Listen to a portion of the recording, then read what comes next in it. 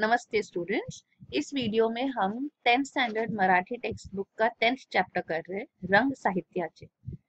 आपले विचार भाव भावना योग्य प्रकारे आणि प्रभावीपणे मांडायचे असतील तर भाषेवर प्रभुत्व हवे. इसका मतलब है, अपने विचार अपनी भावनाएँ अगर हमको सही ढंग से उन, और प्रभावी मतलब हम इन्फ्लुएंस करने के किसी पे असर करने के लिए हमको अगर रखनी है तो हमें भाषे पर कंट्रोल चाहिए, प्रभुत्व चाहिए।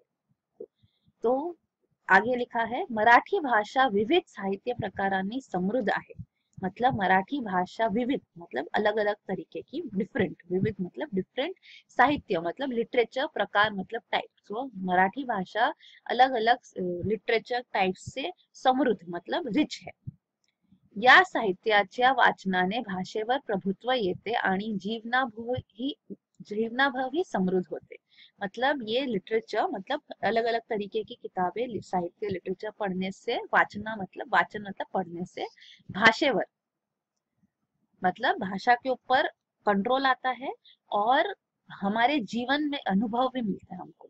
तो जीवनाभव भी समृद्ध होते वो भी रिच होता है हमारा जीवन के अनुभव, क्योंकि हम अलग अलग कथा कहानियाँ पढ़ते हैं तो हमको वो एक्सपीरियंस पता चलते हैं। तो वो जीवन अनुभव मतलब जीवन अनुभव, जीवन का एक्सपीरियंस वो भी रिच होता है। प्रस्तुत पाठात विविध साहित्य प्रकारांची परिचय करून देण्यात आला आहे। मतलब ये चैप्टर में रंग साहित्याचे मतलब साहित्य मतलब लिटरेचर के अलग अलग रंग। तो ये पाठ में ये चैप्टर में विविध मतलब यहाँ भी विविध शब्द शब्द आया था मतलब डिफरेंट विविध विविध साहित्य प्रकारांच्या परिचय परिचय मतलब इंट्रोडक्शन दिया गया है। तो ये चैप्टर में अलग अलग साहित्य के टाइप्स का लिटरेचर का के टाइप्स का इंट्रोडक्शन ना परिचय कर, करून दिया गया है। या साहित्य प्रकारांची मैत्री केली, तर मनोरंजन बरोबर आपले ज्ञान ही वाढेल, असा संदेशही दिला आहे. मतलब अगर ये लिटरेचर के साथ दोस्ती करेंगे तो मनोरंजन एंटरटेनमेंट तो होगा, क्योंकि हम किताबें अलग अलग तरीके की पोयम्स स्टोरीज नॉवेल्स वगैरह पढ़ेंगे तो हमारा एंटरटेनमेंट भी होगा और हमें ज्ञान नॉलेज भी मिलेगा। नॉलेज भी बढ़े, बढ़ेगा, वाढ़ेल मतलब बढ़ेगा। ये मैसेज संदेश मतलब मैसेज दिला है। नाट्य नाट्य स्वरूपातील हा पाठ साहित्यातील विविध कलाकृतींचा परिचय आहे. मतलब नाट्य मतलब ड्रामा के फॉर्म में मतलब. तो नाट्य स्वरूपात मतलब नरेशन ऐसे नाट्य के रूप में है डायलॉग्स में है. तो उस तरीके से ये चैप्टर साहित्य के अलग अलग विविध, तीसरी बार ये विविध शब्द आया मतलब डिफरेंट साहित्य की अलग अलग कलाकृति का परिचय हमको दे रहा है। मतलब उसकी जो आर्ट फॉर्म है, कला मतलब आर्ट आर्ट फॉर्म्स का इंट्रोडक्शन परिचय हमको दिया गया है। तो ये इंट्रोडक्शन था, अब हम चैप्टर स्टार्ट करेंगे। सुश्रुतच्या वर्गाची सहल भिलार या पुस्तकांच्या गावाला नेण्याची ठरे, ठरले।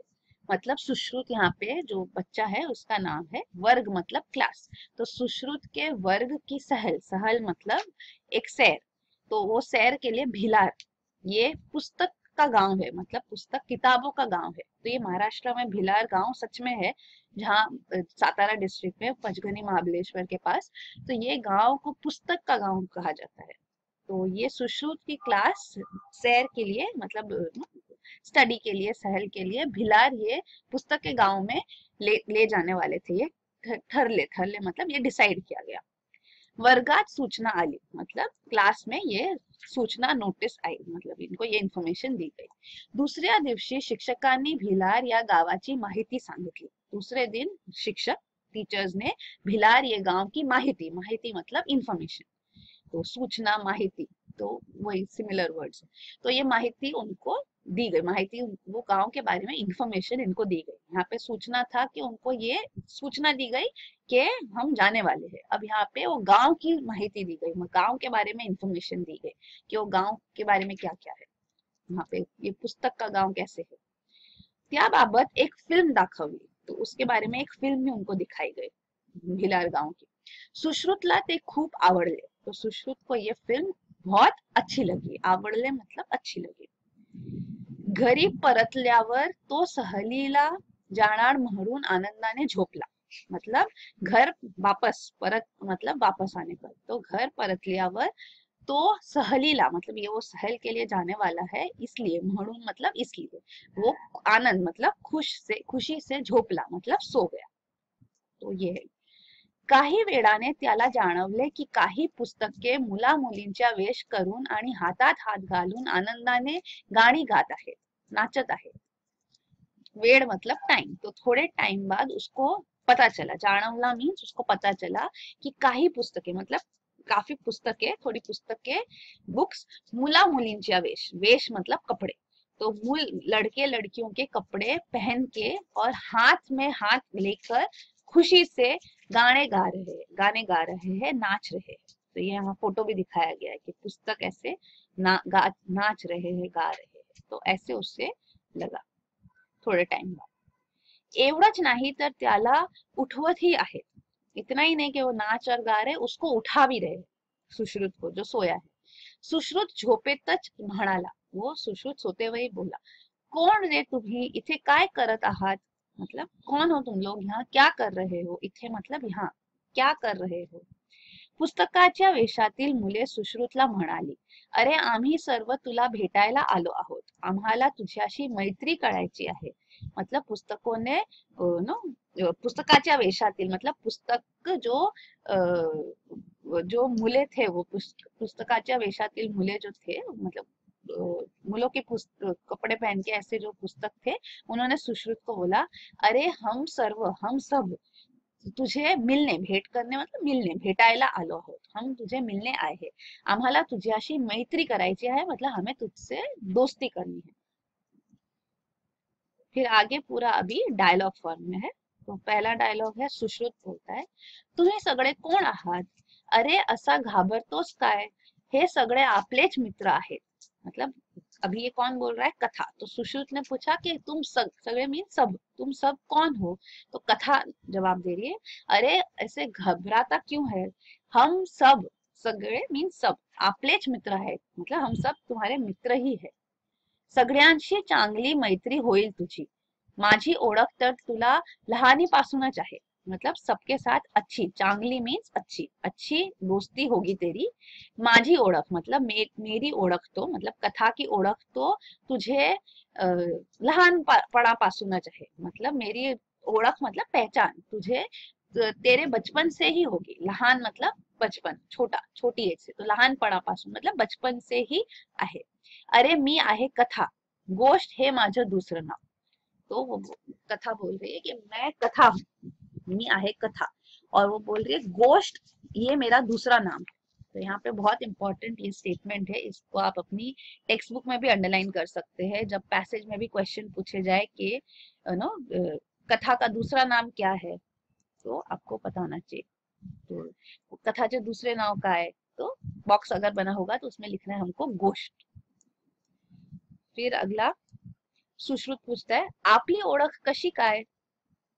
तो तो जब वो बोलती है ना कि मेरी ओळख तुझे लहानपणापासूनच आहे तो कथा बोलती है, आईच्या आजीच्या मतलब माँ से और आजी मतलब दादी से दादीच्या तोंडून मतलब तोंड मतलब मुँह से तो आई और आजी के तोंड से ईसापनीति मतलब ईसप फेबल्स ईसाप नीति तो ये भी नाम है ईसाप नीति पंचतंत्र, अकबर बीरबल तो ये तीन स्टोरीज के नाम भी यहाँ दिए गए हैं तो ईसाप नीति पंचतंत्र और अकबर बीरबल, ये तीनों नाम भी मतलब अगर गोष्ट जो आई आई, जी आयजीचे तोंडून नो जो गोष्ट सांगितले गेले तो वो यहाँ पे ये नाम हमको लिखने तीन नाम है, ईसाप नीति मतलब ईसप फेबल्स, पंचतंत्र और अकबर बीरबल तो ये तीन नाम है। तो वही बोल रहे हैं यहाँ पे कि आई, आजी के तोंड से तुमने मुँह से ये दोस्त, कहानियाँ तो तुमने सुनी होगी। ऐकत ऐकत तुम्हाला मला वाचायची सवय लागते ना. मतलब ये आई, आजी के मुँह से ये तीनों ऐसी ऐसी कहानियाँ, अशा गोष्टी, ऐसी कहानियाँ ऐकते मतलब सुनते सुनते. तुम्हाला, तुम्हें मेरी वाचायची सवय लागते ना. मतलब मुझे पढ़ने की तुझे सवय मतलब इजीनेस आदत. तो वो पढ़ने की आदत लगती है ना. तो सुश्रुत इसी में जवाब देता हो. आता आठवलं, आजी मला नेहमी कोल्हा, उंदीर, ससा कासव यांच्या गोष्टी सांगायची. तो यहाँ पे वो सुश्रुत कह रहा है कि हाँ मुझे मुझे आठवलं. आठवलं मतलब याद आया. आजी मतलब दादी मुझे हमेशा कोल्हा कोल्हा मतलब फॉक्स उंदीर मतलब चूहा, ससा कासव मतलब के हेयर एंड द टॉटॉइस की जो स्टोरी होती है ससा का सौ तो ये कहानियाँ मुझे बोलती थी। तो ये सब पंचतंत्र सब नीति की कहानियाँ है। तो कथा इस पे जवाब देती है, बर का सुश्रुत मतलब बर मीन्स ठीक है ना सुश्रुत? आकर्षक सुरुवात आणि परिणामवाचक, परिणामकारक शेवट, ही माझी वैशिष्ट्य. तो ये भी इम्पोर्टेंट सवाल है कि कथा की वैशिष्ट्य मतलब कथा की स्पेशल कैरेक्टरिस्टिक्स क्या है, वैशिष्ट्य क्या है? तो ये है, यहाँ पे दो दिया हुआ है कि शुरुआत कैसी होनी चाहिए, शुरू कैसे होनी चाहिए और शेवट मतलब अंत कैसे होना चाहिए। तो कथा का शुरुआत आकर्षक होना चाहिए। आकर्षक शुरुआत शुरुआत आणि परिणामकारक शेवट। मतलब उसका कोई, जैसे हम मॉरल स्टोरीज पढ़ते तो ये जो ईसप नीति, पंचतंत्र है, अकबर बीरबल ये मॉरल स्टोरीज होती थी। तो परिणाम कारक मतलब जो रिज़ल्ट जो फाइनली उनका जो जो हमको मॉरल मिलता है, वैसे ये मेरी वैशिष्ट है। एक फाइनल उसका कुछ परिणाम हो परिणाम कारक शेवट इस पे सुश्रुत कहता है, तुझे काही प्रकार असतात का? कारण आज मराठीच्या मॅडम म्हणाला, आपण साहस कथा शिकूया. तो सुश्रुत इसको कथा से, जब कथा ने उसकी वैशिष्ट्य बताई सुश्रुत को तो सुश्रुत ने आगे पूछा कि क्या कथा के अलग अलग तुम्हारे अलग अलग टाइप्स होते हैं? प्रकार मतलब टाइप्स क्या होते हैं? क्योंकि, कारण मतलब क्यों पूछा? क्योंकि आज मराठी की मैडम ने हमें बोला, आज हम साहस कथा करेंगे। साहस कथा सीखेंगे। मतलब के साहस कथा एक टाइप ऑफ़ कथा होगी तो इसलिए उन्होंने सुश्रुत ने सवाल पूछा। तो इस पे कथा ने जवाब दिया अगदी बरोबर मतलब एकदम सही। राइट तो उन्होंने कथा ने क्या कहा? परी कथा बोध कथा विज्ञान कथा ऐतिहासिक कथा, हे माझे अनेक उप प्रकार आहे। मतलब सब टाइप्स उप मतलब सब टाइप्स तो ये चार नाम यहाँ दिए गए तो यहाँ पे भी ये सवाल भी अगर आएगा, अगर बॉक्सेस में, कि कथा के उप प्रकार क्या है? तो ये चार नाम यहाँ पे दिए गए परिकथा बोध कथा विज्ञान कथा, ऐतिहासिक कथा। फिर और आगे कथा कहती है, शिवाय मतलब इसके अलावा नाटक, मालिका, चित्रपट या सर्व ललित कलांच्या पाया म्हणजे मी ललित कला मतलब आर्ट फॉर्म्स जो परफॉर्मिंग आर्ट्स होते हैं, उनको ललित कला कहते हैं। ये आपको हिस्ट्री में भी है। आर्ट फॉर्म्स में। दृक कला और ललित कला। तो ललित कला मतलब परफॉर्मिंग आर्ट्स तो ललित कला का पाया जो है, ये मैं ही हूँ। तो मतलब पाया मतलब उसका फाउंडेशन कथा है। स्टोरी वगैरह आप नाटक नहीं देख सकते। स्टोरी में नाटक में स्टोरी तो होगी। मालिका, चित्रपट, ये सब में स्टोरीज होना ज़रूरी है। स्टोरीज वगैरह ये हो नहीं सकती। तो नाटक मतलब होता है ड्रामा मालिका मतलब टीवी सीरियल और चित्रपट मतलब फ़िल्म तो ये सब ललित कला है परफॉर्मिंग आर्ट से। इनका पाया, इनका फाउंडेशन जो है, वो कथा होती है। तो ये इंपॉर्टेंट तीन चीज़ें कि कौन सी ललित कला का पाया, कथा होती है। तो ये तीन बॉक्सेस में अगर आया ऐसे सवाल तो ये तीन नाम आएँगे। फिर कथा आगे मतलब पहले उन्होंने कथा ने बताया अपने अलग अलग टाइप्स जब सुश्रुत ने साहस कथा के बारे में बोला तो उन्होंने अलग अलग टाइप्स बताए। परी कथा बोध कथा विज्ञान कथा, ऐतिहासिक कथा। तो परी कथा का मतलब भी आप समझ लीजिए परी कथा का मतलब होता है फेरी टेल्स परियों के बारे में। बोध कथा, बोध मतलब मॉरल तो बोध कथा है। विज्ञान कथा, विज्ञान मतलब साइंस तो साइंस स्टोरी साइंस फिक्शन और ऐतिहासिक कथा मतलब हिस्ट्री हिस्ट्री के रिलेटेड कथा होती है। तो ये अलग अलग इसके अनेक उप प्रकार कथा के हैं।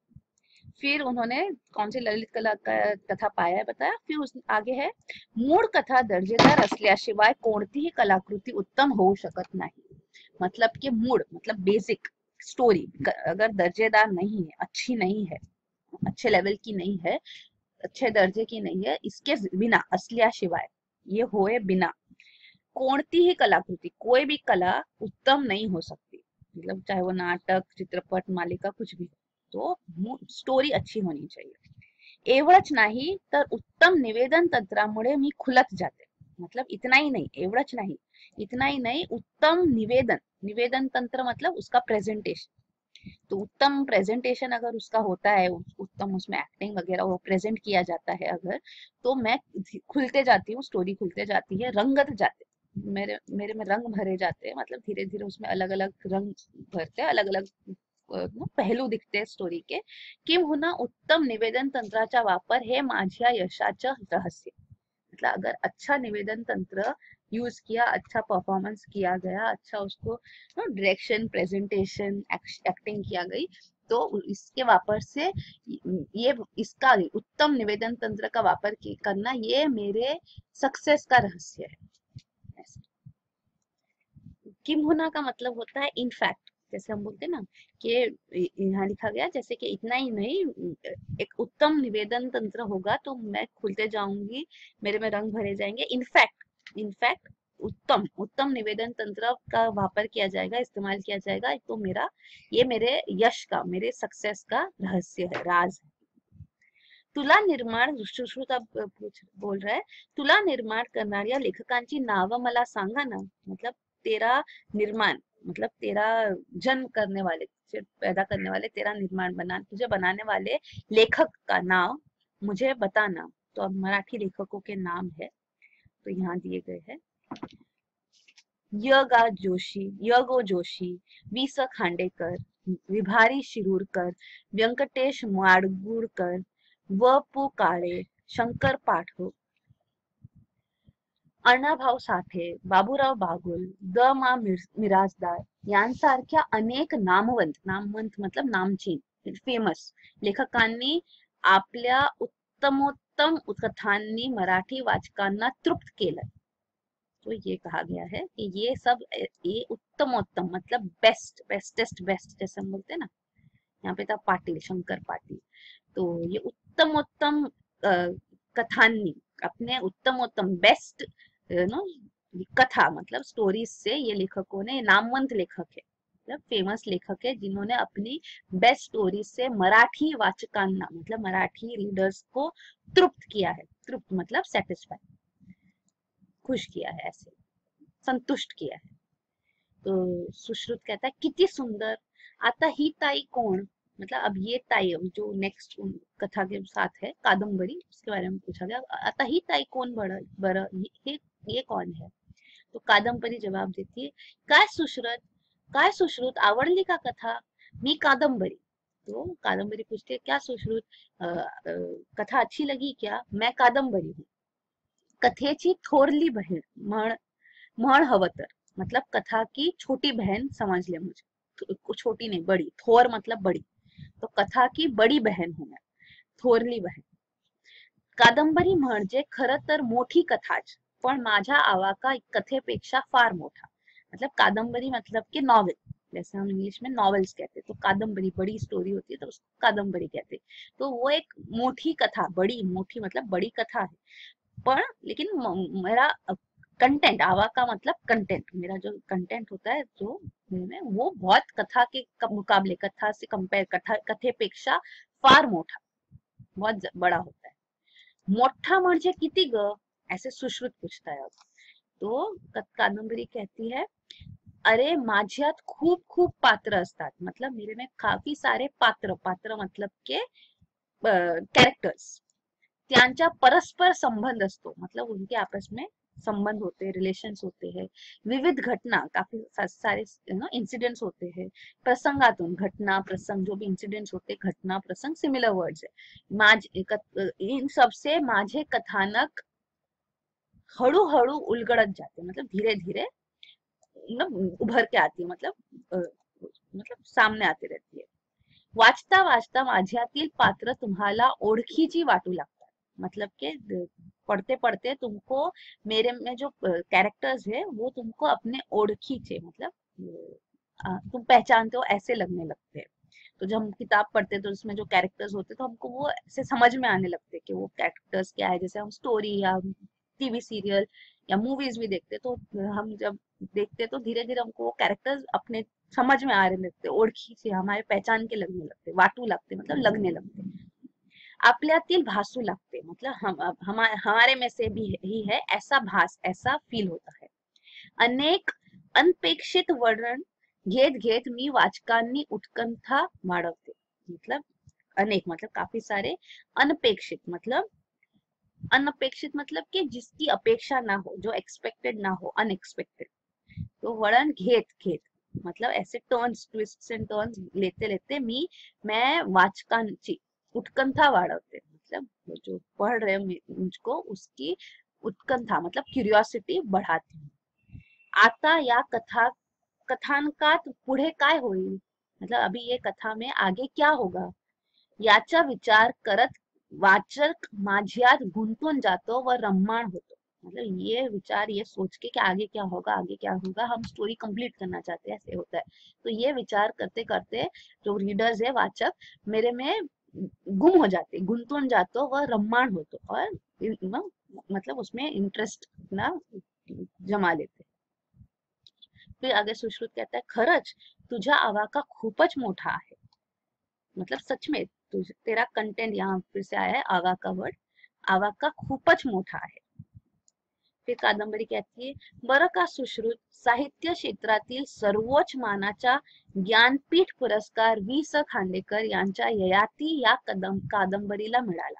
मतलब पता मतलब बरं का सुश्रुत मतलब ठीक है सुश्रुत, तुझे पता है जैसे कहा जा रहा है, साहित्य मतलब लिटरेचर क्षेत्र मतलब लिटरेचर फ़ील्ड में सर्वोच्च मानाचा मतलब सबसे ज़्यादा, सर्वोच्च मतलब सबसे ज़्यादा, है ना? मान मान मतलब रिस्पेक्ट वाला जो ज्ञानपीठ पुरस्कार है, ज्ञानपीठ पुरस्कार कहते हैं, ये वी स खांडेकर, इनको मिला इनकी कादम्बरी के लिए, इनकी नॉवेल के लिए, जिसका नाम है ययाति। तो यहाँ पे सवाल काफ़ी आ सकते हैं कि पुरस्कार का नाम क्या है? ऑथर जो जो जो राइटर है, उनका नाम क्या है? और कादम्बरी का नाम क्या था? ययाति तो ये सब पता होना चाहिए, समझ में आना चाहिए। ज्ञानपीठ पुरस्कार है वी स खांडेकर और लेखक है, और ययाति ये कादंबरी का नाम तेव्हा मराठी माणसांच्या ऊर अभिमानाने भरून आला. मतलब ये ज्ञानपीठ पुरस्कार लिटरेचर का सबसे बड़ा पुरस्कार है, और मराठी लेखक को मिला जब ये तो मराठी मराठी लोगों का ऊर अभिमानाने भरून आला। मतलब मराठी लोग जो है तो ऊर का मतलब होता है छाती। तो मतलब जब ज्ञानपीठ पुरस्कार वी स खांडेकर, मराठी साहित्यकार को मिला तो मराठी लोगों का चेस्ट मतलब अभिमानाने भरून आला मतलब हम प्राउड हुए। तो ऊर अभिमानाने भरून आला मतलब कि जैसे बोलते छाती चौड़ी हो गई। वैसे ये मुहावरा यूज़ किया गया है। तो ब्रैकेट में अभी लिखा है, आगे क्या होता है? इतक्यात कविता सुश्रुतच्या खांद्याला धरून विचारते मतलब इतने में ये डायलॉग्स चल रहे अभी सुश्रुत और कादम्बरी बात कर रहे थे, सुश्रुत और कथा हो गया। तो अब इतने में कविता आई। कविता सुश्रुत के खांदा मतलब शोल्डर को धर मतलब पकड़ के उन्हें विचार मतलब विचारते मतलब विचार मतलब पूछना। मराठी में विचार का मतलब होता है, विचारला मतलब पूछा क्वेश्चन करना। तो कविता बोल, पूछ रही है, सुश्रुत ओळखलंस मला? मतलब सुश्रुत, मुझे पहचाना क्या? अरे, मी आहे कविता. अरे, मैं कविता हूँ. आपली तर फार पूर्वीपासून चांगलीच ओळख आहे, नहीं का? हमारी तो पहले से ही काफ़ी अच्छी पहचान है, नहीं क्या? ऐसे. फिर आगे कहती है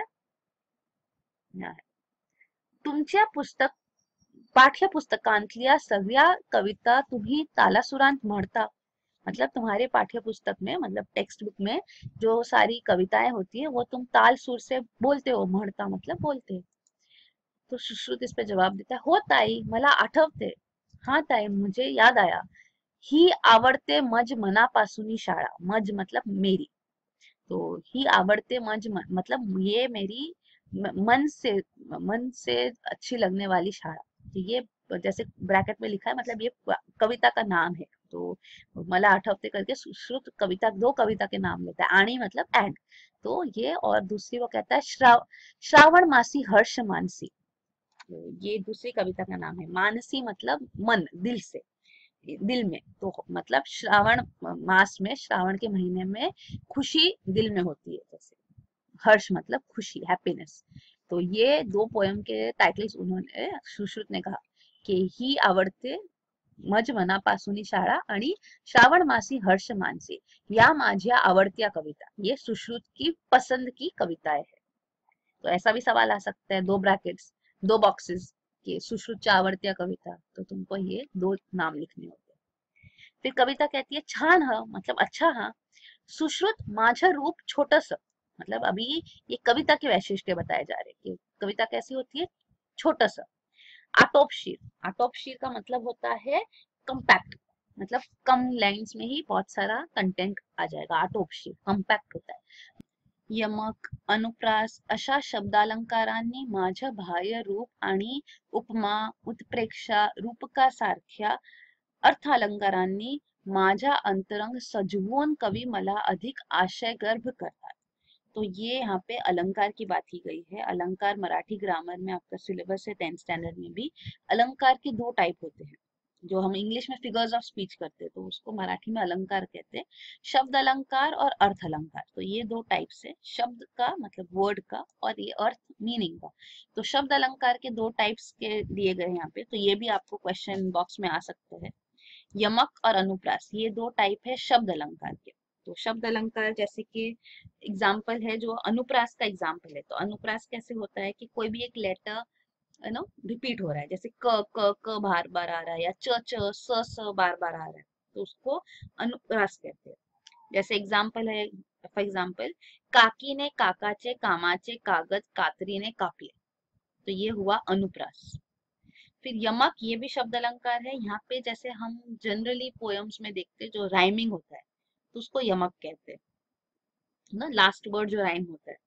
या कोई शब्द सिमिलर आता है तो सेम आते हैं। तो जैसे सुगंध सुसंगति सदा घड़ो, सुजन वाक्य कानी पढ़ो तो ये जैसे राइमिंग आया तो इसको यमक कहते हैं। तो ये दो शब्द अलंकार है। तो ये यहाँ पे लिखा गया है कि ये दो शब्द अलंकार से मेरे बाह्य रूप, बाह्य मतलब बाहर का रूप जो है, और उपमा उपमा उत्प्रेक्षा रूपक, ये तीन अर्थ अलंकार के नाम दिए गए हैं। तो इससे माजा अंतरम मतलब ये सब मेरा अंतरंग जो है, वो सज के, मेरा रूप सज के कवि मुझे अधिक और आशय गर्भ करता है। तो आशय गर्भ का मतलब होता है मीनिंगफुल तो ये यहाँ पे लिखा गया। तो ये अभी तीन जो अर्थ अलंकार है, वो भी हम समझ लेंगे। उपमा, उत्प्रेक्षा रूपक। तो यहाँ पे एक्चुअली जो हम फिगर्स ऑफ़ स्पीच इंग्लिश में सिमिली करते सिमिली मेटाफर तो वो टाइप में है ये। तो उपमा मतलब के कंपेयर किया जा रहा है। तो इसके अंदर जनरली जब मराठी ग्रामर में भी सवाल आता है तो आपको क्वेश्चन आता है कि इसमें उपमय क्या है, उपमान क्या है, साम्यवाचक शब्द क्या है, ऐसे, और समान गुण क्या है। तो ये दो, ये चार चीज़ें आएगी उपमा और उत्प्रेक्षा में। लेकिन रूपक में ऐसे नहीं होता है। तो उपमा और उत्प्रेक्षा में कैसे होता है? दोनों में फ़र्क ये है कि उपमा जो है, वो सिमिलर है, ऐसे बात कर रहा है। जैसे एग्ज़ाम्पल आंबा साखरे सारखा गोड आहे। तो यहाँ पे आंबा को साखर से कंपेयर किया, लेकिन ऐसे बताया जा रहा है कि उसके जैसा है। तो उसको उपमा कहते हैं। उत्प्रेक्षा ऐसे होता है कि जैसे कि दोनों एक ही है, ऐसे बात की जाए। तो यहाँ पे जो है कंपैरिजन में जैसे जणु व कई बार आता है। वहाँ पे यहाँ पे जो ये, जो साम्यवाचक शब्द होते हैं, उपमा में, उसके एग्जाम्पल्स ऑफ़ पॉपुलर एग्जाम्पल्स जो है, वो है समान सारखे जैसे प्रमाण, ऐसे। और जो उत्प्रेक्षा है, उसके जो साम्यवाचक शब्द है, जो कंपेयर करने के शब्द है तो वो ऐसे होता है कि सेम ही है। तो जनरली सबसे कॉमन जो वर्ड है, वो जड़ू होता है, जड़ू। वाटे, भासे, गमे, ऐसे। तो एग्ज़ाम्पल भी है जैसे वसुधा ही जणू काही परीच अशी कल्पना केली आहे. मतलब वसुधा जैसे कोई परी ही है तो दोनों को एक ही बताया गया परी जैसी नहीं है, परी ही है, ऐसे जणु का ही परी तो उसको उत्प्रेक्षा कहते हैं। और रूपक जो है, रूपक अलंकार, ये भी ऐसा है कंपेयर किया जा रहा है, पर दोनों के बारे में कंपेयर कोई वर्ड से भी नहीं किया जा रहा, दोनों एक ही ऐसे बात की जाती है। रूपक का एग्ज़ाम्पल जैसे है, देह देवाचे मंदिर आत्मा, आत, परमेश्वर। मतलब देह, हमारी बॉडी जो है, वो देव का मंदिर है और आत्मा जो है अंदर, हमारी बॉडी के अंदर, वो परमेश्वर है। जैसे मंदिर में भगवान है, वैसे हमारी बॉडी में जो आत्मा है हमारी, वो परमेश्वर है। तो ये देह को देव के मंदिर से कंपेयर किया गया बिना कोई कंपैरिजन वर्ड बिना शब्द, बिना कोई शब्द यूज़ किए। तो साम्यवाचक शब्द कुछ नहीं है तो इसको कहते हैं रूपक। राइट देह देवाचे मंदिर, आत्मा आत परमेश्वर। तो ये कविता ने बताया अपने वैशिष्ट्य। तो यहाँ पे हमने ग्रामर, अलंकार पे थोड़ा टाइम लिया। फिर आगे सुश्रुत कहता है, मॅडम, नेहमी सांगतात, कवितेची शब्दरचना अर्थपूर्ण व चपखल असते. मतलब मैडम मतलब उनकी टीचर ऐसे बोलती है कि नेहमी मतलब हमेशा हमेशा बोलती है, सांगतात कवितेची मतलब कविता की जो शब्द रचना होती है, जैसे शब्द उसके लिए यूज़ किए जाते हैं, वो हमेशा अर्थपूर्ण मतलब पूरी मीनिंग से भरी हुई और चपखल होती है। चपखल मतलब के यू नो एप्ट एकदम जितना चाहिए उतना ही। फिर आगे है, कल्पनांचा सुंदर आविष्कार कवितेत असतो। हे बरोबर ना? मतलब कल्पना का थॉट का, विचार का सुंदर, खूबसूरत आविष्कार आविष्कार मतलब खूबसूरत इन्वेंशन कविते में होता है, कविता में होता है। ये सही ना, ऐसे सुश्रुत कविता से पूछ रहा है। तो कविता कहती है अगदी बरोबर मतलब एकदम सही। आणखी काय माहित आहे सुश्रुत तुला मतलब और क्या पता है? माहित मतलब माहिती, जैसे इन्फॉर्मेशन हमने पहले भी किया। तो और क्या पता है सुश्रुत तुला तुम्हें और क्या पता है? तो सुश्रुत कहता है, ताई, मला असं वाटतं संगीतकारांनी स्वर स्वर राज चढवला की तुझ्या गाण्यात रूपांतर होते. कारण तुला मी पाठ्यपुस्तकात वाचतो आणि सीडी मध्ये चित्रपटात चित्रपटात एक तो सुद्धा. मतलब अभी सुश्रुत कह रहा है कि, ताई, मुझे ऐसे लगता है, मला असं वाटतं मतलब मुझे ऐसे लगता है कि संगीतकार जो म्यूजिशियंस होते, जो म्यूज़िक डायरेक्टर्स होते, संगीतकार, ये स्वर राज चढ़वला मतलब उसके मतलब तुम्हारे जो कविता होती है, उसमें वो स्वर लगाते स्वर राज चढ़ाते हैं और तुम्हारे गा, गाने का रूप बदल जाता है रूपांतर मतलब रूप में अंतर होता है रूपांतर होता है क्योंकि तुला में क्यों वो कहती कहता है कि क्योंकि तुमको मैं पुस्तक में भी देख पढ़ता हूँ और सीडी में भी सुनाई देते गाने और चित्रपट में भी फिल्म्स में भी सुन, सुनाई देते हैं। तो तुम्हारे ये दो रूप है तो ये सुश्रुत ने बताया। फिर कविता बोलती है छान निरीक्षण आहे तुझा मतलब ये तेरा छान ऑब्जर्वेशन है. बर मला एक सांग. तुझ्या शाळेत मराठी दिन साजरा करतात का? मतलब ठीक है मुझे एक बात बता ऐसे. मला एक सांग. मतलब मुझे एक बात बता. ते, तेरी शाळा में मराठी दिन मनाया जाता है क्या? तो सुश्रुत कहता हो करतात ना. फिर आगे है कोणत्या तारखेला करतात? मतलब अगर मराठी दिन सेलिब्रेट कर दे तो कविता पूछ रही है सुश्रुत से कि कौन सी तारीख को करते हैं? तो सुश्रुत सोच के फिर कहता है ट्वेंटी सेवन फेब्रवरी ला। तो ये फिर से सवाल है कि मराठी दिन सेलिब्रेट होता है कौन सी दिन? तो ये आपको पैसेज से आंसर मिलना चाहिए। तो इस पे कविता कहती है, अगदी बरोबर मतलब एकदम सही। तो कोणाचा जन्मदिवस आहे? माहित आहे तुला? मतलब ये किसका जन्मदिन है? बर्थडे है। माहित है? मतलब माहिती इंफॉर्मेशन है इसकी, तुझे तुझे पता है? तो सुश्रुत इस पे जवाब देता है नाही ग मतलब नहीं रे। तो कविता जवाब देती है, इसके एक्सप्लेनेशन देती है, नट सम्राट, नाटकाचे लेखक, वी वा शिरवाडकर, म्हणजेच कविवर्य कुसुमाग्रज यांचा. मतलब ये 27 फरवरी मराठी दिन सेलिब्रेट करते हैं, क्योंकि इस दिन नाटक के जो प्रसिद्ध लेखक है फ़ेमस लेखक है वी वा शिरवाडकर, उनका कविवर्य मतलब उनका ये नाम, वो पेन नेम जो यूज़ करते थे, कुसुमाग्रज। तो इनका जन्म दिवस होता है 27 फरवरी को, उनको नट सम्राट कहा जाता है। तो उनका जो फ़ेमस नाटक है, विशाखा त्यांच्या विशाखा या काव्य संग्रहाला मानाचा, ज्ञानपीठ पुरस्कार मिला ला है मतलब इसको भी ज्ञानपीठ पुरस्कार मिला है। हमने पहले भी किया ज्ञानपीठ पुरस्कार। तो इधर विशाखा, ये काव्य संग्रह है। मतलब कलेक्शन ऑफ़ पोएम्स तो इसको भी कुसुमाग्रज की लिखी हुई कलेक्शन ऑफ़ पोएम से इसको भी ज्ञानपीठ अवार्ड मिला है। तो सुश्रुत इस पर पूछता है, खरच मतलब सच में?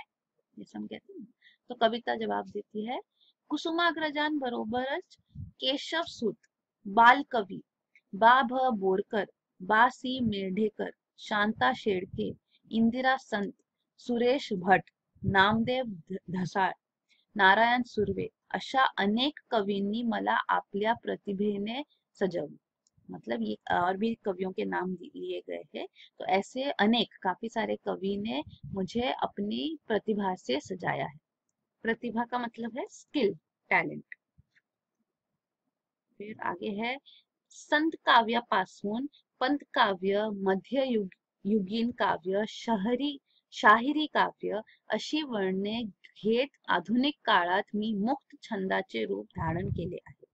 तो ये कविता और भी आगे अपने बारे में बता रही है कि संत काव्य मतलब संत वाणी जो कहते हैं हम तो संत काव्य से लेके, काव्य पासुन मतलब यहाँ से लेके पंत काव्य तो पंत काव्य होते हैं मध्य युगीन काव्य, शाहिरी काव्य तो ये पोयम्स के अलग अलग टाइप्स है। तो जो संत काव्य है, पंत काव्य है, पंत काव्य का मतलब होता है जो पोयम्स जो होती है, जो इंटेलेक्चुअल पोइट्स लिखते हैं ऐसे नरेटिव की तरह, है ना? पंडितों की ऐसे पोयम्स होती है। संत की पोयम्स होती है और एलिट पोइट्री जैसे कि इंटेलेक्चुअल पोएट्स की पोएट्री तो पंत काव्य कहते हैं। मध्य काव्य मतलब मध्य युग की मतलब मिडिवल पीरियड की जो काव्य है पोयम से शाहिरी काव्य मतलब जो नो हीरोइज्म की काव्य होती है, जैसे मराठी में पोवाड़ाज होते हैं। बैले जैसे होते हैं तो उसको शाहिरी काव्य बोलते हैं। तो ये सब जो है ये अलग अलग टाइप्स के काव्य के नाम यहाँ पे दिया गए दिए गए तो अशी वर्णे घेत आधुनिक काळात मतलब मॉडर्न टाइम्स में अभी मी मुक्त छंद मतलब फ्री वर्स तो फ्री वर्स पोयम आपको इंग्लिश में भी है छंद, मुक्त छंद फ्री वर्स पोयम तो ऐसे रूप भी धारण किया है मैंने। तो जो आपकी इंग्लिश में पोयम है where the mind is without fear Rabindranath Tagore तो वो फ्री वर्स पोयम है। तो ये हुआ अब कविता का खत्म, अब आए नाटक। तो नाटक कहता है होय सुश्रुत ओळखलास का मला। मतलब मुझे पहचाना क्या? ओळखला मतलब पहचाना क्या? सुश्रुत कहता है, तू कोण आहेस रे तू कौन है रे? तो नाटक कहता है माझ्याकडे बघ, म्हणजे तुला कळेल। मतलब मुझे, मेरी तरफ़ देख तो तुझे समझेगा. कळेल मतलब समझेगा मला नहीं कड़ल मतलब मुझे नहीं समझा. ऐसे कळलं मतलब समझना फिर सुश्रुत कहता, अरे, नाटक दादा, तू? तो सुश्रुत पहचान लेता है जैसे. तो नाटक फिर अपने बारे में बताते हैं. कहते हैं, पात्र रचना, चुरचुरीत संवाद आणि नाट्यमय घटना, प्रसंग. यांमुळे मी मराठी माणसाच्या हृदयात अधड स्थान मी प्राप्त करतो. मतलब कि पात्र रचना मतलब जो नाटक होता है तो उसके अंदर पात्र जो है कैरेक्टर्स है, उनका, उनकी रचना, उनके बारे में, उनका जो ना कैरेक्टर फॉर्मेशन है, जैसे कि जो बनाए जाते हैं। चुरचुरीत संवाद मतलब क्रिस्प जो डायलॉग्स होते हैं, संवाद मतलब जो डायलॉग्स आणि नाट्यमय घटना मतलब ऐसे ड्रामेटिक इंसिडेंट्स प्रसंग जो होते हैं इस वजह से मैं मराठी लोगों के दिल में, हृदय में, दिल में अधड़ स्थान मतलब जो हिल नहीं सकती, जो एकदम हम जम के ऐसे स्थान मैंने प्राप्त की है। नाटक कहता है तुला माहित आहे, माझं रंगमंचावर सादरीकरण होणार आहे, याचे भान ठेवूनच नाटककार माझी मांडणी करतो. मतलब तुझे पता है, मेरा रंगमंच पे मतलब स्टेज पर सादरीकरण मतलब मेरा ट्रांसफॉर्मेशन होने वाला है, मेरा स्टेज पे उसके ऊपर पूरा इनेक्टमेंट होने वाला है, ये ड्रामा इनेक्ट होने वाला है, वो सोचकर, याचे भान ठेवून मतलब ये विचार, ये ध्यान में रखते हुए, ठेवणे मतलब रखना तो ध्यान में, भान ठेवून मतलब ध्यान में रखना तो ये ध्यान में रखते हुए नाटककार मेरी मांडणी करतो मतलब ये मुझे नाटककार मुझे इस हिसाब से बनाता है। वाचनीय अन प्रेक्षणीय भावे अशी त्याची अपेक्षा असते. मतलब पढ़ने में भी अच्छा लगे और प्रेक्षक जब ऑडियंस देखती है तो ऑडियंस को भी प्रेक्षणीय भी हो, ना, दिखने में भी अच्छा भाव होना चाहिए, ऐसी उसकी अपेक्षा, उम्मीद रहती है। सुश्रुत, मी कालच एक धमाल बालनाट्य बघितलं. कहता है, मैंने कल ही एक धमाल मतलब मज़ेदार बाल नाट्य मतलब बच्चों का एक नाटक बघितलं मतलब देखा. त्या दिग्दर्शन उत्तम होतं, असे बाबा म्हणाले. मतलब उसका जो दिग्दर्शन मतलब के डायरेक्शन उत्तम, बहुत अच्छा था, ऐसे बाबा बाबा मतलब सुश्रुत के पिता, उन्होंने कहा. तो नाटक आगे कहते हैं, वाह, छान. अरे, दिग्दर्शकासाठी मला दिग्दर्शित करणे हा आनंदायी अनुभव मतलब के मेरा दिग्दर्शकासाठी मतलब ऑडियंस के लिए मेरा दिग्दर्शित, मला दिग्दर्शित करने मतलब मेरा डायरेक्शन करना ये बहुत खुशी की, खुशी वाला ऐसे आनंददायी अनुभव है। बहुत खुशी भरा एक्सपीरियंस होता है, अनुभव मतलब एक्सपीरियंस मराठी भाषेत गोविंद बल्लाभ देवळ, श्रीपाद कोल्हाटकर, राम गणेश गडकरी, पु ल देशपांडे, वसंत कानेटकर, मधुसूदन कालेलकर, प्र प्र के अत्रे अशा दिग्गज लेखकांनी मला समर्थपणे हाताळलं.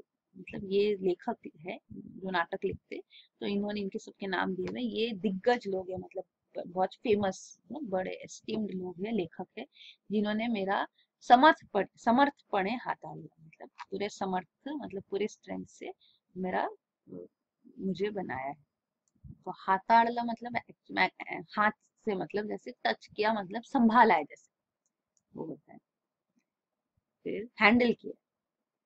फिर आगे है, चरित्र कहता है मतलब अब चरित्र और एक आया है। ए सुश्रुत, शुक शुक, इकड़े बग मतलब जैसे हम ऐसे करते ना, वो है। ए सुश्रुत, इकड़े बग मतलब के यहाँ देख तो चरित्र बुलाता है अब सुश्रुत को। तो सुश्रुत कहता है, कौन बोलवतय मला? मतलब कौन बुला रहा है मुझको? तो चरित्र कहता है, अरे मी मी चरित्र। मी एखाद्या थोर व्यक्तिमत्वाच्या व्यक्तीच्या लेखकावर प्रभाव पडतो आणि त्याच्या आयुष्याची गाथा लिहिण्याची प्रेरणा लेखकाला मिळते आणि त्यातून मी जन्माला येतो.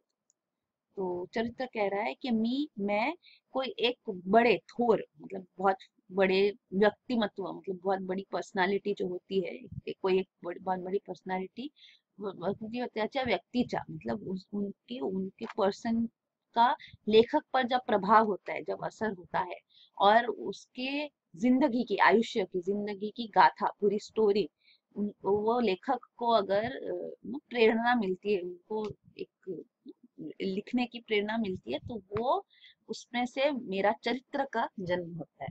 तो जो हम कहते हैं आत्मा चरित्र मतलब के ऑटोबायोग्राफी और चरित्र मतलब बायोग्राफी तो कोई और जब कोई किसी के बारे में लिख रहा है तो उसको बायोग्राफी कहते हैं, जो चरित्र है। तो सुश्रुत कहता है, मैडम, नेहमी म्हणतात नेहमी मतलब हमेशा। तो मैडम हमेशा कहती है की थोरांची चरित्र सामान्यां सामान्यांना प्रेरणा म्हणून. मतलब के जो थोर लोग, जो बड़े लोग हैं, उनके जो चरित्र, उनकी जो बायोग्राफी है, ये सामान्य लोगों को ऑर्डनरी लोगों को प्रेरणा देता है इंस्पिरेशन देता है। फिर चरित्र कहता है अगदी बरोबर। कारण मी अस्तोच मुडी संघर्षमय बान आणि संधीच्या सुवर्ण संधीत रूपांतर करणार. मतलब मतलब एकदम सही.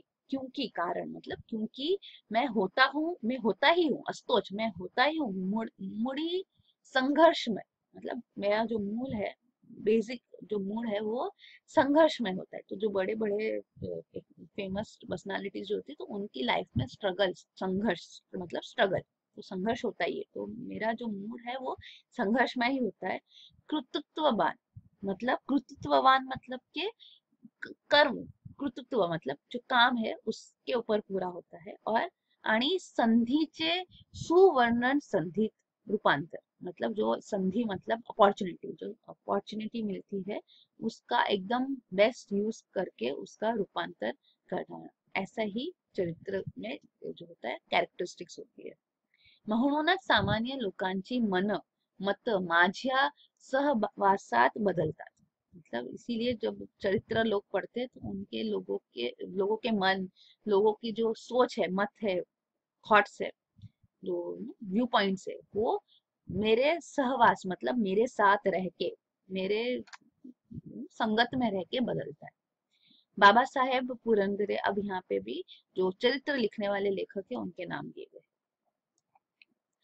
तो यहाँ पे लिखा है, यहाँ पे फिर से हाथाड़ ले आया। मतलब उन्होंने मुझे हैंडल किया है, मुझे बनाया मतलब मुझे सींचा है, ऐसे हैंडल किया है, ध्यान रखा है मेरा। यहाँ नाम दिए गए चरित्र लेखक के, बाबा साहेब पुरंदरे धनंजय गाडगिल भा द खरे, रणजीत देसाई अशा अनेक प्रसिद्ध लेखकांनी मला हाथ तो ये सब नाम तो आपको पैसेज से ढूंढ के लिखना है कि चरित्र के फ़ेमस लोग कौन है? तो जहाँ चरित्र वाले लिखे वो लिखे ऐसे। वहाँ हमने सब कविता हर एक में हमने देखा नाटक में भी नाम आए हैं लेखक के राइटर्स के। तो ये नाम है। फिर सुश्रुत कहता है, वाह, सर्व ताई दादांनी मला किती माहिती दिली. आता हा कोणता दादा बरं मतलब वो बोलता है, अभी तक तो सब ताई दादा जो आए हैं, उन्होंने बहुत सारी इंफॉर्मेशन मुझे दी। अब ये कौन दादा, ये कौन है? तो ये आत्मचरित्र कह रहा है। मी आत्मचरित्र। चरित्र्यांच चरित्राच्यांच एक मतलब चरित्र जो है, उसकी फॅमिली कुटुंब मतलब फॅमिली तो चरित्र की कुटुंब से ही मैं एक हूँ। चरित्र म्हणजे एखाद्या व्यक्तीच्या आयुष्याच्या लेखकाने केलेला वर्णन मतलब एक कोई व्यक्ति के लाइफ के बारे में जो लेखक लिखते वो चरित्र होता है। तर मी म्हणजे व्यक्तीने स्वतःच्या जीवना, जीवन प्रवासाचं तत्स्थपणे केलेलं वर्णन. तत्स्थपणे मतलब without any bias neutral neutrally जो, नो, जो जो वर्णन नरेशन किया गया है, उसको बोलते हैं आत्मचरित्र. मतलब खुद ने स्वतः मतलब खुद का खुद के जीवन लाइफ के जो जर्नी है, उसके बारे में, प्रवास मतलब जर्नी तो जीवन की लाइफ की जर्नी के बारे में न्यूट्रल उसने अपना, जो नरेशन किया, जो भी अपना डिटेल दिया, उसको कहते हैं आत्मचरित्र। माझ्या आयुष्यात आलेल्या विविध टप टप्प्याने मेरे लाइफ में मतलब जो आत्मचरित्र होता है, उसमें, उसकी लाइफ में आलेले विविध मतलब अलग अलग टप्प्यांचे वर्णांचे भलिया बुरिया अनुभवांचे कथन मी तत्स्थपणे करतो. मतलब फिर से वही आया, तत्स्थपणे मतलब without any bias neutral neutral तरीके से उसका कथन स्टोरी की जाती है। मतलब जो जो लेखक खुद अपने बारे में लिख रहे हैं तो वो उनकी आयुष्य की मतलब उनकी लाइफ में आलेले अलग अलग टप्पे, जैसे बचपन होता है, कुछ एक नो अचीवमेंट हुआ, जो भी यूथ में वगैरह। तो उसका टप्प्यांचे और जो भी टर्न्स लाइफ में आए और जो भी भले बुरे एक्सपीरियंस हुए, उनकी स्टोरी वो न्यूट्रल तरीके से दी जाती है आत्मचरित्र में। त्यातून मी साकारला जातो उसमें से मेरा मतलब मेरा जन्म होता है, मेरा, मेरी, मेरा फॉर्म मुझे फॉर्म मिलता है, मुझे शेप मिलता है। स्वातंत्र्यवीर सावरकर, सुनीता देशपांडे, माधवी देसाई डॉक्टर जयंत नार्वीकर डॉक्टर प्रकाश आमटे, मल्लिका अमर शेख दया पवार विश्राम बेडेकर, लक्ष्मण गायकवाड हे माझे गाजलेले लेखक. मतलब इनकी आत्मकथा काफ़ी आत्मचरित्र जो है वो काफ़ी फ़ेमस है तो इनके नाम दिए गए। तो सुश्रुत कहता है, अरे सर्वान शेवटी तो कोणता दादा उभा आहे? मतलब अभी सबसे लास्ट में ये कौन दादा खड़ा है? आणि तो माझ्याशी बोलणार नाही का? क्या ये मुझसे नहीं बोलेगा? तो प्रवास वर्णन अब लास्ट दादा। तो वो कहता है, का नहीं बोल रहा, क्यों नहीं बोलूँगा? ज़रूर बोले, ज़रूर बोलूँगा। अरे मीच तुला घरी बसून दूर दूरच्या गावी देशी पोहोच पोहोचवणार ना? मतलब मैं ही तो तुझे घर बैठे बैठे, घरी बसून घर बैठे दूर दूर के गाँव, देश पहुंचाता हूँ ना? तो रहता है म्हणजे मतलब? ते कसं काय? ये कैसे, क्या है ये? तो प्रवास वर्णन कहता है, माझं तो कार्य चाहे मेरा वो काम ही है एखाद्या ठिकाणी प्रवास करून आल्यानंतर प्रवासाची प्रेक्षणीय ठिकाणांची रोचक, मुद्देसूद आणि जशीच तशी माहिती वाचकांपर्यंत मी पोहोचवतो. मतलब के जो एक कोई लोकेशन का अगर जर्नी करके आए है करके आए हैं तो उसके आने के बाद वो प्रवास की जर्नी के बारे में और प्रेक्षणीय मतलब जो फ़ेमस जो प्रेक्षक जहाँ लोग ज़्यादा जाते वो वो ठिकाण, वो प्लेसेस और रोचक मुद्दे सूद आणि जशी तशी माहिती, जैसी है वैसी माहिती पे, सब बातों पे ये पढ़ने वालों तक पहुंचाते वो है प्रवास वर्णन फिर आगे लिखा है, ही माहिती रटाळ कंटाळवाणी न होऊ देता रंजक रंजक पद्धतीने मनोवेधक भाषेत मांडणे हे लेखकाचे कसब। मतलब ये जो इन्फॉर्मेशन है, क्योंकि प्रवास के बारे में, जगह के बारे में तो उसके तो उसके जो साइट सीइंग प्लेसेस वगैरह, उसके बारे में जो है सारा तो ये जो प्रवास वर्णन होता है, ये इन्फॉर्मेशन है। तो ये इन्फॉर्मेशन रट्टाड़ इसे सिंपल स्ट्रेट फॉरवर्ड बोरिंग कंटाड़े वाली बोरिंग ऐसी नहीं होनी चाहिए। रंजक पद्धति में मतलब रंजक मतलब होता है जो इंटरेस्टिंग मनोरंजन वाली।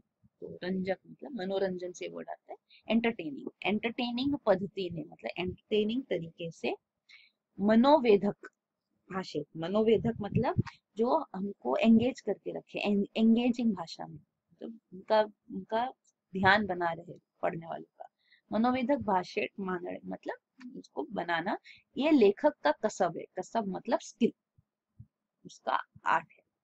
लेखक त्या ठिकाणाच्या ठिकाणच्या माहिती बरोबरच स्वतःचे अनुभव, भावना, निसर्ग सौंदर्य व्यक्ति विशेष यांची ही सुरेख मांडणी करतो. मतलब सिर्फ़ जगह के बारे में नहीं होता, वो ये जगह की इंफॉर्मेशन के साथ साथ अपना स्वद के, खुद का अनुभव, खुद का एक्सपीरियंस खुद की फीलिंग्स और निसर्ग सौंदर्य जो नेचर है, उसके उसके बारे में मतलब निसर्ग की ब्यूटी के बारे में नेचर की ब्यूटी के बारे में व्यक्ति विशेष मतलब कोई व्यक्ति विशेष बात भी हो स्पेसिफिक बात हो उसकी ही उसकी ही पूरी इंफॉर्मेशन वो कर, लेखक प्रवास वर्णन का लेखक करते हैं। तो सुश्रुत कहता है मर्जे ना टिकट ना मर्जे ना टिकट ना टिकट लेने की ज़रूरत ना वीज़ा ना बस ना विमान मतलब ना वीज़ा लेने की टिकट ना टिकट चाहिए ना वीज़ा चाहिए ना बस चाहिए ना एरोप्लेन चाहिए। ना बस, ना विमान, मी कुठेही ही जाऊ शकते.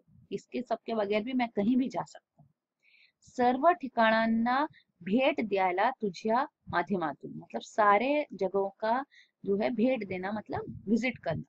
ये तेरे तेरे साथ मैं तो तेरे माध्यम से, तेरे थ्रू मैं, तेरे मीडियम से मैं कर सकता हूँ. सब जगह का दर्शन, भेंट कर सकता हूँ. मैं जा सकता हूँ सभी जगह. फिर आगे प्रवास वर्णन कहते हैं. अगदी बरोबर. आणि हेच माझे वैशिष्ट्य. तो अब प्रवास वर्णन के वैशिष्ट्य दिए गए हैं. तो वो कहता है, म्हणूनच मला गंगाधर गाडगीळ, रा भी जोशी, पु ल देशपांडे, रमेश मंत्री, मीना प्रभू अशा मोठ्या लेखकांनी आपलस करून प्रसिद्ध केलं.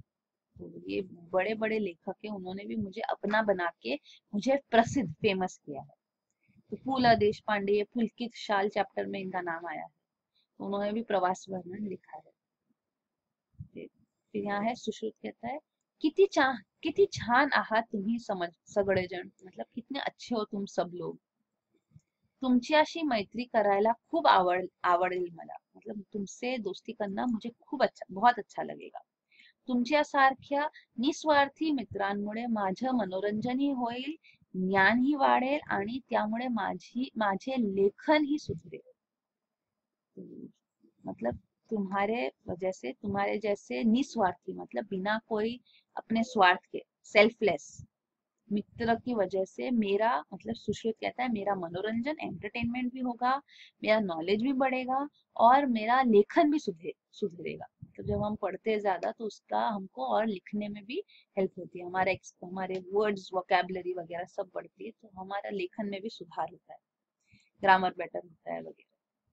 तो सगळे मतलब अब सारी जो पुस्तक है, वो कहते आणि सगळ्यात महत्वाचं म्हणजे आम्ही तुला कधीच सोडून जाणार नाही. मतलब सबसे सबसे सगळ्यात मतलब सब में से सबसे इम्पोर्टेंट जो महत्व इम्पोर्टेंस की जो बात है, वो है मर्जे मतलब वो क्या है कि हम तुझे कभी भी छोड़ के नहीं जाएँगे। फिर पुस्तकें सब गाते सगळे गातात सब गाने लगे। साहित्याचे रंग विविध है, भूलविती सारिया रसिक जन। मतलब के साहित्य के जो अलग अलग रंग है, ये सब रसिक जन मतलब जो आर्ट के अप्रिशिएटर्स है, वो भूल भूलते। इंद्रधनुष ते सप्तरंगी जैसे, सुशोभित करते गए ना तो इंद्रधनुष जो है वो भी सात रंगों का होता है, उसके अलग अलग रंग होते हैं और वो शोभा बढ़ाता है, सुशोभा करता है गगन की, आसमान की।